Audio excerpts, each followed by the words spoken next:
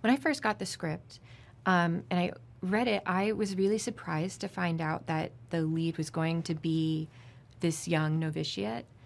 Um, and it was really inspiring finding, you know, discovering this character more and more because she's, you know, she grew up in an orphanage her entire life. And then immediately after aging out of the orphanage, she goes on to become a novitiate. So it's, she's a fairly isolated um, character that's then dropped in the middle of Rome, which is like a very, a very beautiful and sensual city. And so for a girl who has maybe not thought about her body or or her sexuality, um, to be dropped into an atmosphere like that, I think is already very confronting and already such an interesting film, whether or not you have the supernatural element ahead of her.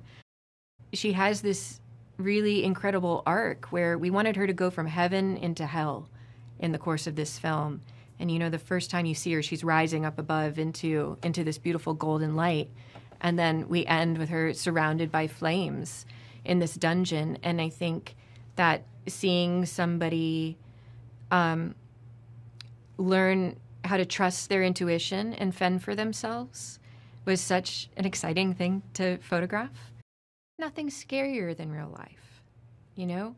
And I think the realer something is, the more it's going to infiltrate your mind, body, and soul, and the harder it's going to be to shake it. Because if something's very grounded and you can find a lot of, of um, relatability in that, it's not going to stay in the theater for you. You know, when you leave the theater, all that horror is going to stay. Man, that sounds horrible, but but that honestly is, I think, the best approach. And those are the movies that scare me the most, are the ones that are the most grounded. What I really love about this film is that I think that while it answers these big questions, like that I had a, as an Omen fan growing up, like where does Damien come from, you also get to new get to know a whole new set of characters that weren't in the original franchise. So you really get to discover this whole new world.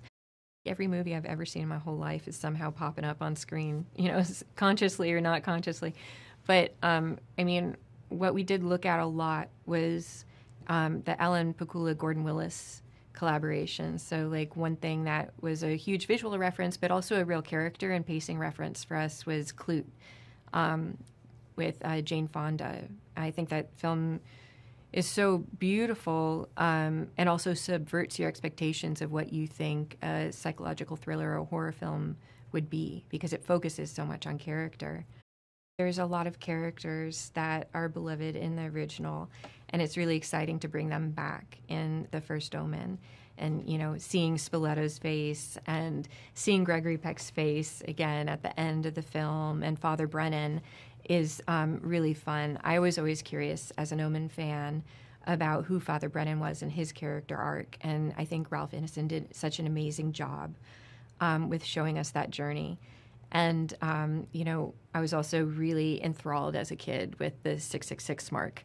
And so, what was really fun on this project was getting to explore the mythology of the 666 even more.